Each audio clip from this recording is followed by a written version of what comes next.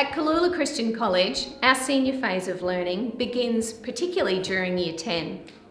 Our students spend time considering their interests, their skills and their dreams for the future.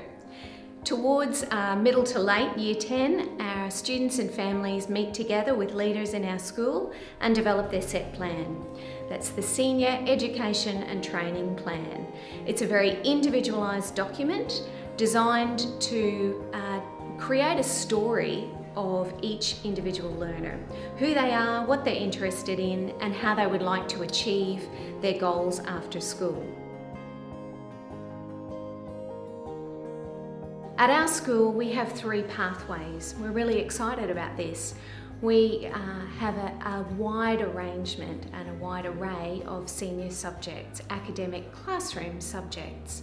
Partnered with that is a VET pathway. We have strong connections in our community through TAFE and other registered training organisations and a number of our students are beginning uh, various certificates in areas of interest.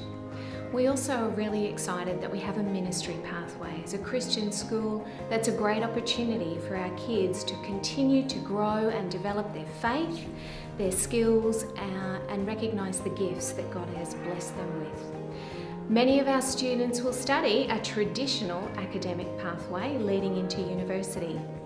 But we also have a large number of students who are undertaking traineeships and apprenticeships in the local community. Um, some of our students will carry a, a conglomeration of those pathways. So there'll be academic subjects, VET courses and some traineeship packages as well.